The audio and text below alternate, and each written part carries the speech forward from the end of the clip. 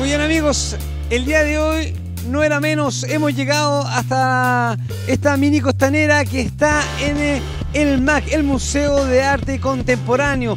¿Qué se está realizando el día de hoy? Bueno, te lo comento al tiro. Cuatro Reinos, una colección de la CSU, donde habrá pintura, escultura, mucho demás. ¿Quieres saber qué personajes llegaron? ¿Qué ocurre? A mi espalda, todo pasando. Mira este informe.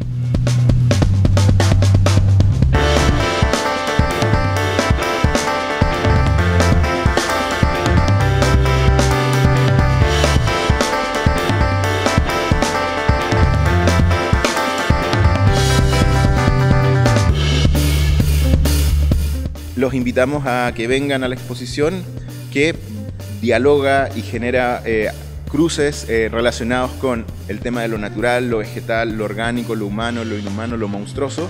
Están cordialmente invitados a que vengan a la exposición y eh, va a estar durante todo el verano, ¿no?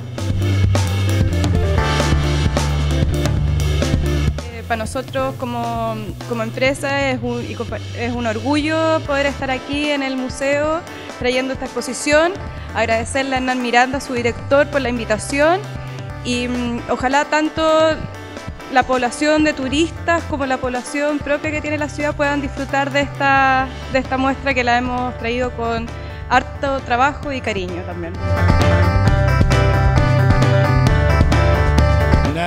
porque es una colección importante en el país de artistas chilenos, eh, por un lado, y por otro lado tiene una connotación simbólica.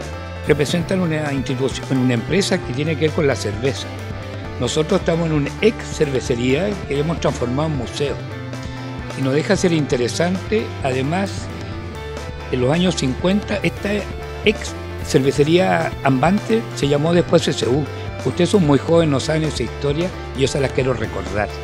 Bueno amigos, y haciendo este tour por el cuarto reino colección de la CCU, 25 piezas, donde habían pintura, escultura y demás es acá. Recuerden que hasta el, el 15 de marzo estará abierto para toda la comunidad para que puedan venir a ver toda esta cultura.